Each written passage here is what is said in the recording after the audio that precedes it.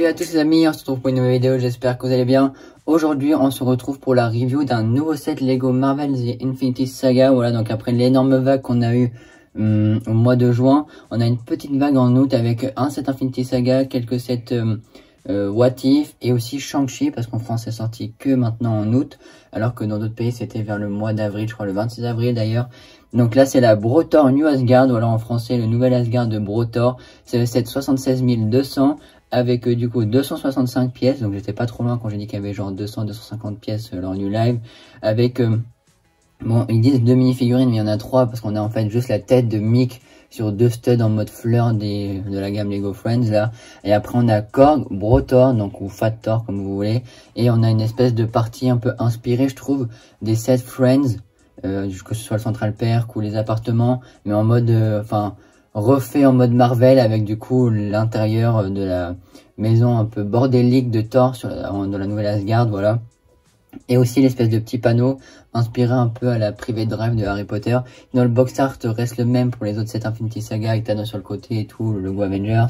Voilà toutes ces petites euh, une vignette en mode euh, comics et en, mode Lego euh, en, blanc comme ça qu'ils ont récupéré aussi par rapport euh, aux autres sets Infinity Saga. Donc c'est top. Et là on a l'intérieur. Voilà c'est plutôt marrant franchement et ce set là je pense qu'il a dû se faire démonter la plupart d'entre vous que ce soit même pas forcément des fans de Lego Marvel parce que beaucoup ont été déçus tout ça je pense que vous l'avez quand même pris parce que c'est un set vraiment super sympa et au final il vaut quand même le prix donc on va s'intéresser à ça tout de suite. Ce qui est surprenant que ça peut l'être c'est que en fait au final moi enfin et la plupart d'entre vous lors du live pensaient que ça allait être beaucoup plus grand. Et au final, c'est pas si grand que ça, mais en fait, c'est que c'est tellement en mode petit, entassé, avec un enchaînement de pièces qui fait que ça apporte tellement de détails, que du coup, bah, je pense qu'en fait, les, bah, du coup, oui, les 265 pièces sont empilées dans ce petit espace, et c'est ce qui fait euh, ce rendu un peu bordélique, mais en même temps assez organisé, et du coup, c'est vraiment pas mal. Et là, du coup, on a le petit panneau par rapport à la nouvelle Asgard, où ça nous dit euh, de conduire euh, doucement, voilà. Puis après, il y a aussi marqué Welcome Tiltonsberg, voilà. Donc, je pense c'est en langue, je sais pas quelle langue c'est au final. Mais ça, c'est pas mal. Donc, ça me fait vraiment penser au petit private drive dans Harry Potter. Voilà, donc ça, je vais le mettre de côté. Et donc là, on a tout l'intérieur de la Bretagne Asgard. Donc, euh, on va se rapprocher de ça. Voilà, donc franchement, c'est plutôt pas mal. Donc, c'est représenté comme ça, hein, la scène. C'est vraiment tout petit. C'est un, un, une espèce de petit triangle. Donc là, on a l'entrée, voilà, de l'autre côté, donc plutôt marrant. On peut faire venir du coup Rocket euh, avec pourquoi pas Hulk, euh, bah, comme euh, dans Endgame, voilà. Puis là, donc vous pouvez ouvrir la porte et après à l'intérieur, on voit le canapé, on voit Thor et tout. Donc voilà, après bon, les détails restent quand même assez soignés de tous les côtés, je trouve. Et donc là, donc la partie une fois à l'intérieur, vous avez pas mal d'étagères sur le haut avec pas mal de bordel. Là, on a une casserole, une poêle, un espèce de lasso, un petit verre, enfin pas mal de trucs, des statues. La fourche, je sais qu'elle représente quelque chose, mais je me rappelle plus ce que c'est. Le petit tableau en forme sticker avec euh, Valkyrie, Korg, Mick et Thor, donc ça je trouve que c'est plutôt marrant. Voilà, donc euh, quelques petits bateaux. Là, il y a même un... Donc ça, ça doit être l'odeur que peut-être Hulk parle, parce que là, t'as carrément en fait le poisson dans un bac, enfin, dans une pièce de coffre, à côté du feu, plus le fût à bière, Thor qui boit une bière, enfin, oh là là, c'est un bordel. Une, une, une pelle, une rame, le, carrément le Stormbreaker qu'on peut accrocher au mur, donc ça c'est plutôt pas mal, avec les stickers qui représentent en fait les pizzas par rapport à c'est quoi? Storm Baker's Pizza, donc c'est vraiment pas mal, puis en fait le logo c'est euh, une part de pizza qui fait en fait l'espèce de hache qu'il y a euh, sur le morceau de bois du Stormbreaker, là on a carrément une autre pizza, pas mal de parts de pizza un peu partout, voilà, donc après il y a le canapé que vous pouvez enlever, je vais vous montrer ça après, comme ça on pourra parler des figurines en détail, là on a Mick aussi, on a la petite manette et là sur cette partie là on a la télé qui représente en fait le jeu Fortnite voilà avec euh, Noob Master euh, à gauche là. Et on a euh, Korg en fait sur le jeu. Et le nombre je pense je sais pas je crois pas que ça c'est vraiment dans Fortnite par rapport au nombre de points ou je sais pas quoi mais après franchement je trouve que le sticker est pas mal on a carrément même un cookie qui est glissé dessous l'écran de la télé pareil sous le le canapé je vais vous montrer tout à l'heure qu'on peut décrocher et franchement, il y a tellement de détails. Et c'est vraiment tout petit, hein. vous pouvez vraiment bien le prendre dans les mains et tout, le déplacer. Dessous, c'est comme ça. Donc voilà, moi franchement, je trouve que c'est top. Puis j'ai oublié de vous parler de la, petite fléchette derrière. Et là, ce qu'on va faire, je vais retirer le canapé et vous montrer les figurines en même temps, en détail. Et euh, la petite construction et la petite cachette aussi dessous. Et puis normalement, c'est pas compliqué parce que c'est vraiment en mode tiles. Voilà, donc le canapé est enlevé. Et donc à l'intérieur, vous pouvez voir en fait, euh, tout au fond, on a le petit cookie en dessous du canapé carrément.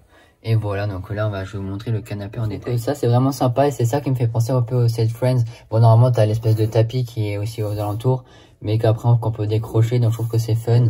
Avec aussi la part de pizza, la construction reste vraiment pas mal. La couleur aussi en vert comme ça, euh, un peu couleur peau je trouve que c'est vraiment pas mal.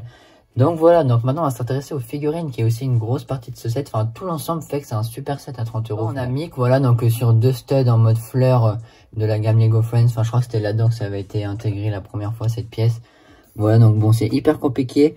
Euh, J'espère qu'on verra bien les détails, mais en gros on a juste en fait la tête quoi qui est bien représentée, donc ça c'est top.